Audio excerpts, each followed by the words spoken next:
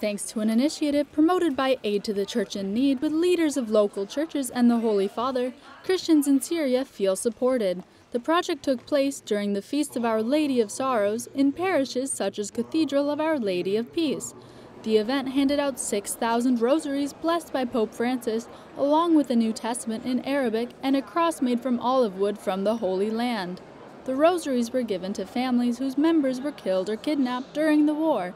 More than 480 parishes across Syria gathered to pray, especially for them. This woman, for example, said she wants a rosary for her nephew, who suffers trauma from being kidnapped during the war.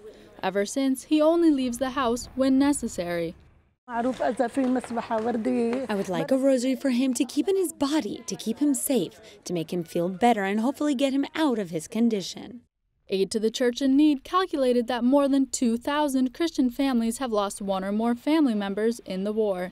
Another 800 live with the pain of having a relative kidnapped.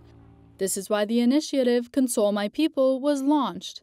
The Syrian Christians have a strong need to move towards reconciliation and forgiveness. So the leaders of the local churches, of all the Christian churches, together with ACN, have taken the initiative, Console My People. The objective of this initiative, launched by Pope Francis on August 15th in St. Peter's, is to promote concrete gestures of help to Christians in Syria, Catholic or not. In fact, both Catholic and Orthodox archbishops were present at the celebration at the cathedral in Homs. This is just one of the initiatives. Aid to the Church in Need has been working in Syria since 2011. It has developed 850 projects in the region and financed 38 million euros.